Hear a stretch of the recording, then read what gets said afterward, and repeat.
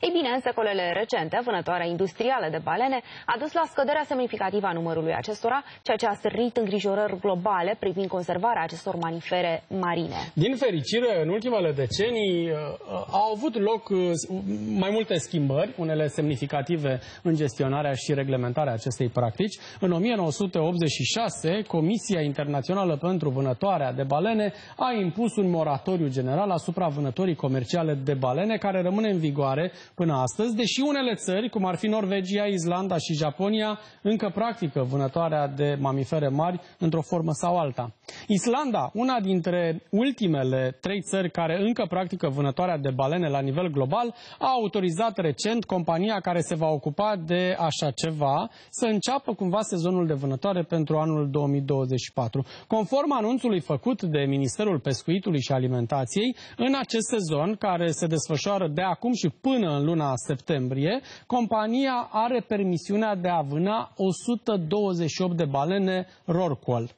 Aceasta este uh, o reducere față de sezonul anterior, când limita a fost stabilită la 161 de balene. Această decizie continuă să genereze cumva dezbateri intense legate de impactul vânătorii de balene asupra biodiversității marine și a ecosistemelor oceanice.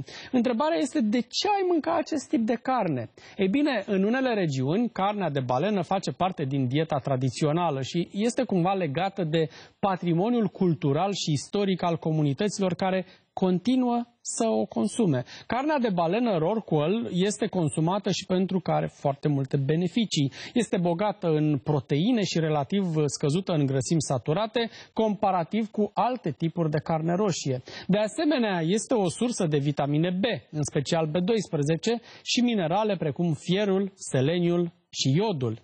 Însă, pe lângă lucrurile bune, există și aspecte negative.